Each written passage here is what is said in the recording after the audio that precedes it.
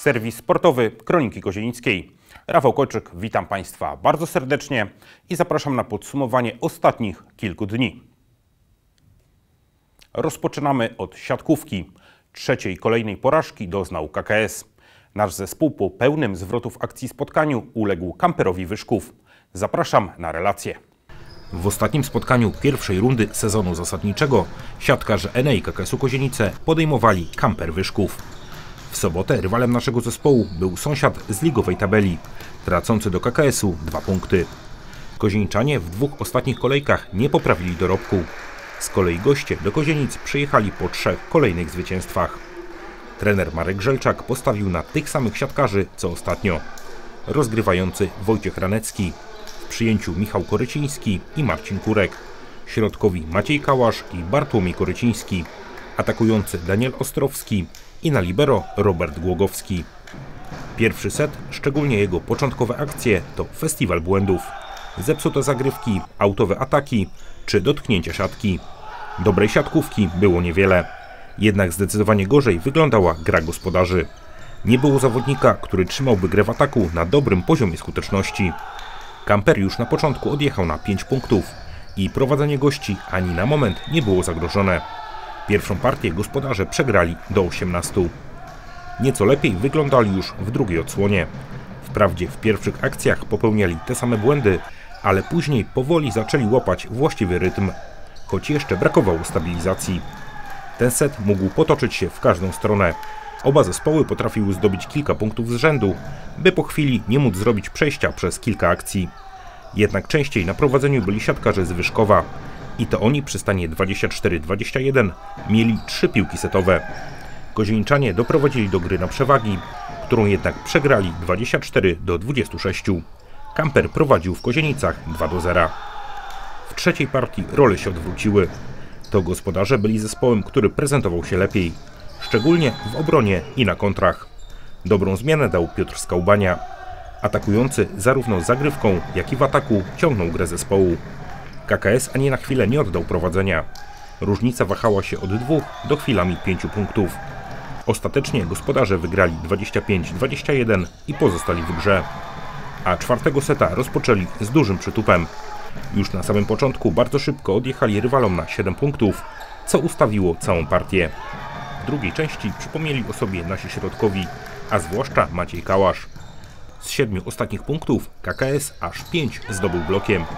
Kamper został rozbity do 16, a to oznaczało tiebreak dla naszego zespołu, trzeci w tym sezonie. Co ciekawe, dwa poprzednie mecze miały identyczny przebieg. Goniliśmy wynik od 0-2 i niestety w piątej partii dwukrotnie lepsi okazali się rywale. W sobotę historia powtórzyła się po raz trzeci. Wprawdzie po dobrym początku KKS prowadził 3-0, ale później wynik do końca kręcił się wokół remisu.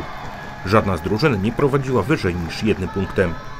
Po bloku na Skałbani goście mieli piłkę meczową przy 14-13. Ranecki jeszcze raz wystawił do Skałbani, a ten doprowadził do gry na przewagi. Był to jednak ostatni punkt KKS-u. Dwie ostatnie akcje wygrali siatkarze Sławomira Gerymskiego. Po zagrywce Filipa Balasza w Ostrowskiego Kamper wygrał piątego seta 16-14 i z Kozienic wyjechał z dwoma punktami. Gospodarze ponownie musieli zadowolić się jednym. We wszystkich pozostałych meczach 11 kolejki również górą byli goście, czyli czołowa piątka tabeli. Lider Bas Białystok pokonał 3-1 Centrum Augustów. Druga w stawce Arka nie straciła seta w rywalizacji z Bzurą Ozorków. Za trzy punkty wygrały także Metro i Sparta.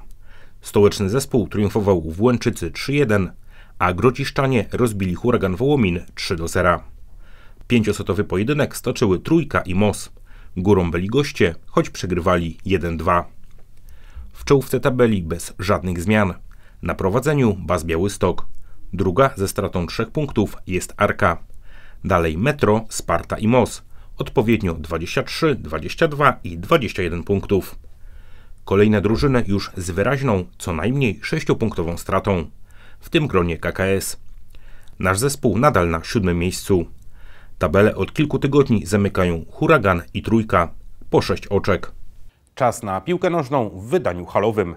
Zapraszam na skrót spotkań drugiej kolejki Ligi Amatorskiej. W dwóch pierwszych meczach padło 13 bramek. Do jednej bramki toczyły się dwa pierwsze mecze drugiej kolejki amatorskiej halowej ligi piłki nożnej. W pierwszym poniedziałkowym spotkaniu Inotum Platinum, jeden z faworytów turnieju, zmierzył się z ekipą Brak Sponsora, drużyną, która w pierwszej kolejce przegrała różnicą siedmiu bramek.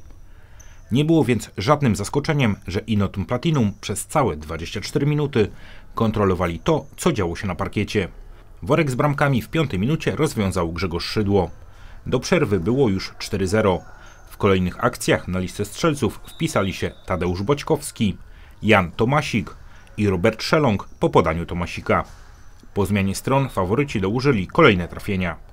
W odstępie kilkudziesięciu sekund do siatki rywali trafiali Grzegorz Szydło i Andrzej Czaplarski. Z dorobkiem dwóch goli mecz zakończył kapitan Tadeusz Boćkowski, a wynik w ostatnich sekundach ustalił Damian Kozdryk i był to gol samobójczy. Brak sponsora także mieli swoje okazje i zasłużyli na przynajmniej honorowe trafienie, jednak tym razem się nie udało. Bardziej zacięty i chyba dynamiczniejszy, przynajmniej do pewnego momentu, był kolejny pojedynek. O pierwsze punkty w rozgrywkach walczyli wyrewolwerowani rewolwerowcy i backstage. Tu na pierwszą bramkę trzeba było poczekać blisko 8 minut. Wcześniej żadna z drużyn nie osiągnęła bardzo wyraźnej przewagi, choć nieco lepiej prezentowali się rewolwerowcy. W końcu udało im się trafić rywali i to dwukrotnie w krótkim odstępie czasu. Wynik otworzył Mateusz Chmal, wykorzystując podanie Dawida Luśtyka, a dwie minuty później na 2-0 podwyższył Konrad Baran. Po przerwie backstage szukali przynajmniej kontaktowego trafienia, ale zamiast tego stracili kolejne gole. W 18 minucie, gdy grali w osłabieniu, na 3-0 trafił Chmal. Minutę później z bramki cieszył się Piotr Górka, a wynik spotkania na 5-0 ustalił Marek Monkosa. W trzecim spotkaniu tej kolejki KGK przegrał ze związkowcami z NA Wytwarzanie 1 do 2. Dwie bramki dla energetyków zdobył Sławomir Kuźmiński. Dla gospodarki trafił Hubert Wasiński. Na czele tabeli dwa zespoły z kompletem 6 punktów. Inotum Platinum i międzyzakładowy Związek Zawodowy Energetyków w Enea Wytwarzanie. W tym roku rozegrana zostanie jeszcze jedna kolejka. W poniedziałek 20 grudnia zagrają Backstage z KGK, Brak sponsora i wyrewolwerowani rewolwerowcy oraz Hubal Chodków z Inotum Platinum. Pozostajemy w hali sportowej. W poprzednią sobotę odbyły się tam Mistrzostwa Kozienic w badmintonie.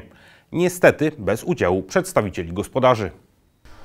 Po roku przerwy rozegrane zostały otwarte Mistrzostwa Kozienic w badmintonie. Rozgrywki w hali sportowej w Kozienicach odbyły się już po raz jedenasty.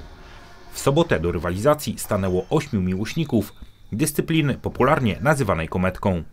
Grali głównie przyjezdni z Radomia i Puław.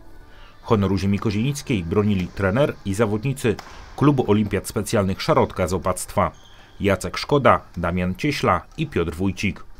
W Mistrzostwach Kozienic zabrakło mieszkańców Kozienic. Grano w dwóch grupach, każdy z każdym, do dwóch wygranych setów, do 21 punktów. Gracze prezentowali bardzo zróżnicowany poziom. Z 16 rozegranych spotkań, tylko w dwóch o zwycięstwie decydował trzeci set. Dwaj najlepsi zawodnicy z grup awansowali do półfinału. I tak niepokonany w grupie A Krzysztof Kidacki w meczu o wejście do finału nie oddał seta Alanowi Terleckiemu, wygrywając do 12 i 6. Zaś Mikołaj Maruszewski, który w Cuglach wygrał grupę B, w półfinale pokonał Tomasza Suwałę do 14 i 15. Zarówno te spotkania, jak i mecze o trzecie i pierwsze miejsce były pojedynkami Radom kontra Puławy. W finale pocieszenia Radomianin Tomasz Suwała wygrał z młodym reprezentantem Puław Alanem Terleckim 2 do 0 do 12 i 11. W ostatnim meczu Krzysztof Kidacki, czterokrotny zwycięzca imprezy, dla którego był to już ósmy finał, zmierzył się z Mikołajem Maruszewskim z Puław. Pierwszą partię dość wyraźnie 21-14 wygrał Maruszewski. Zdecydowanie bardziej wyrównany był drugi set, ale i ten rozstrzygnął na swoją korzyść Puławianin. Wygrał 21-19 i bez straty seta triumfował w całej imprezie.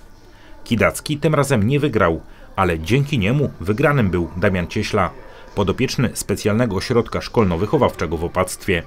Kidacki ufundował dla niego nowe buty do gry w badmintona. Na zakończenie najlepsi otrzymali dyplomy, puchary i nagrody, które wręczył dyrektor Kozińskiego Centrum Rekreacji i Sportu Marcin Zmitrowicz.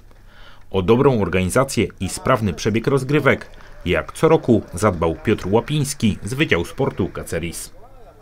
Na koniec kilka informacji dla sympatyków tenisa stołowego.